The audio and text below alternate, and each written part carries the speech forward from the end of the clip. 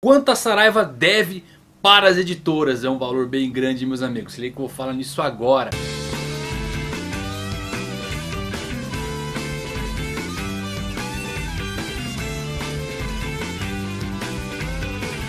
Fala galera, Evandro Fusari com mais um vídeo pra vocês. Como vocês estão? Espero que todos muito bem.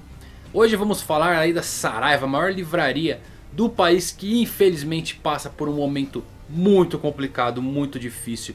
E entrou aí com um pedido de recuperação judicial para poder se manter nativa e não declarar falência. Antes de começar galera, peço para vocês aí votem no troféu Mangaque. Eu vou fazer um vídeo bem legal dessa premiação. E o prazo aí é para o final desse mês. Então o link está aqui na descrição. Votem rapidinho, não leva nem 20 segundos. E é muito importante saber a sua opinião. Qual a melhor editora, qual o melhor mangá lançado aqui no Brasil votem lá. E toda a sua dívida foi tornada pública em diversas matérias e conseguimos puxar lá o quanto ela deve para as editoras de mangás. E meus amigos, não é pouco, não é pouco não.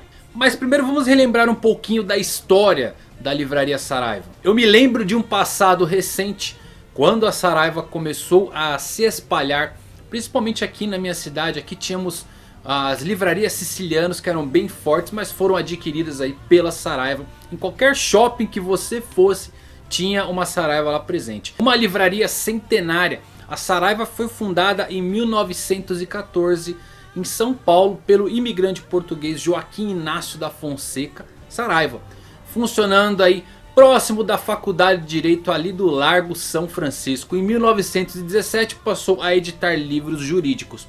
E a expansão da rede começou na década de 70 com a abertura da sua segunda loja lá na Praça da Sé. Na década seguinte, lojas foram abertas em shoppings em outros estados do país, atingindo o seu auge na primeira década dos anos 2000. Mas segundo a companhia, os negócios começaram a perder ritmo lá em 2014 com a estagnação da economia do país. A Saraiva diz ainda que o faturamento foi muito impactado principalmente pela greve dos caminhoneiros e pela Copa do Mundo.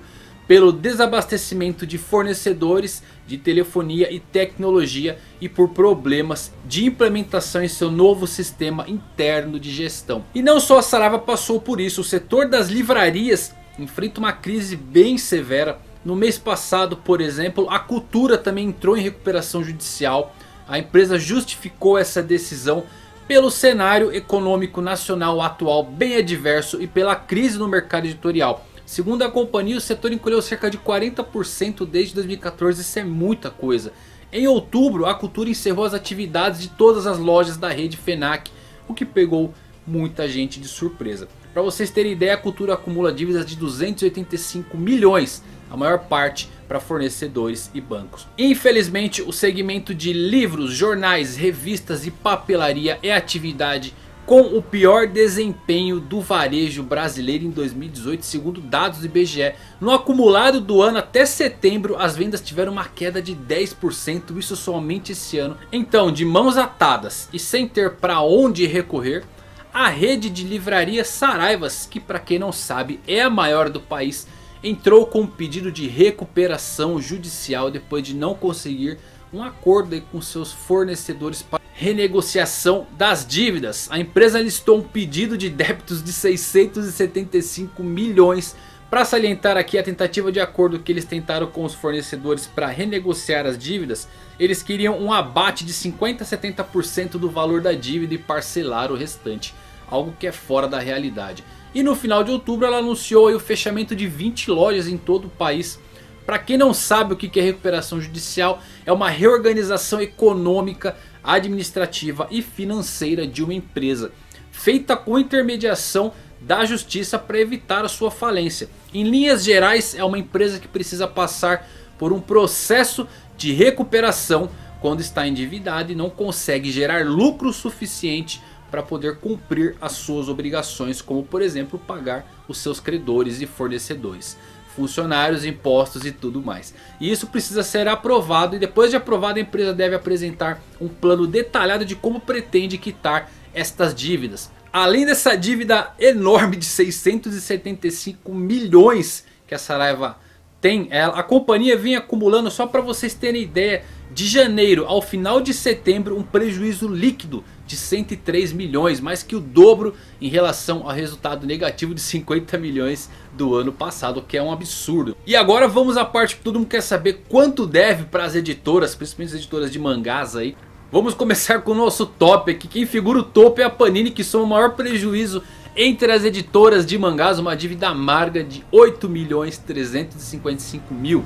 Se vocês têm noção de quanto dinheiro parado galera, lembrando que a Panini não publica somente mangás, é responsável por gibis aí, por exemplo da Turma da Mônica, colecionáveis, linha de quadrinhos, DC, Marvel, etc. Mas fazendo uma conta básica e rápida aqui, dividindo esse valor por um preço médio de 20 reais, chegamos a uma quantidade de mais 400 mil volumes perdidos. É muita coisa, é muita tristeza. Quantos Berserk 13 foram parar lá nos estoques da Saraiva e a Panini não recebeu de novo para poder reprimir. É, é uma tristeza absurda pensar num montante desse que a empresa vai demorar muito tempo para recuperar. Depois temos a Dark Side, que também lança alguns mangás aí, mas só uma dívida de 2 milhões e 323 mil. É um absurdo. JBC acumula 939 mil reais e a New Pop tem uma dívida para receber lá de 93 mil reais, o que é um absurdo. A New Pop talvez seja a menor delas, a própria JBC é muito dinheiro parado. 90 mil para uma empresa que trabalha ali sempre no limite, ou 900 mil para uma empresa de média grande porte, ou é, os 8 milhões da Panini. Qualquer valor que seja, se fosse 2 mil reais, já é muito prejuízo para a empresa. Imagine o quanto que a empresa vai ter que trabalhar para colocar esse dinheiro, é dinheiro de caixa que sai, é um dinheiro que ela poderia estar fazendo novos investimentos, trazendo novos títulos, contratando mais pessoal, gerando emprego. E infelizmente foram pegos aí de eu, eu, eu sou solidário, eu vou ser sincero para vocês que eu sou solidário com as empresas, com as editoras nesse ponto aí.